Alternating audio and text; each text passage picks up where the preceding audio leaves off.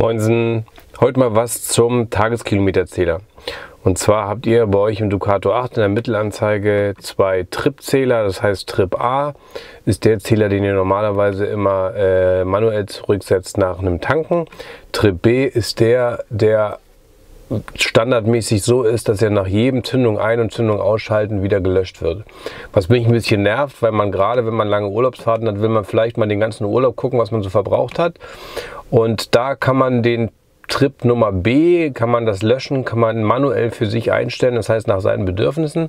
Dafür geht ihr in die äh, Fahrzeugeinstellung, drückt mal, drückt darauf, drückt auf Display und dann scrollt ihr runter bis auf Reset Trip B.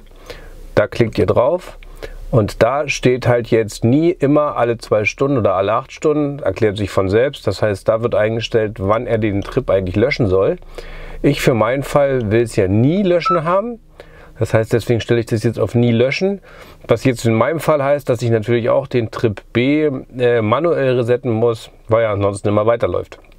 Also vielleicht als Tipp für eure Bedürfnisse, je nachdem, ob ihr täglich das löschen wollt oder es vielleicht auch mal so machen wollt, dass ihr eine ganze Urlaubsfahrt aufzeichnen wollt, da könnt ihr das für euch selber individualisieren.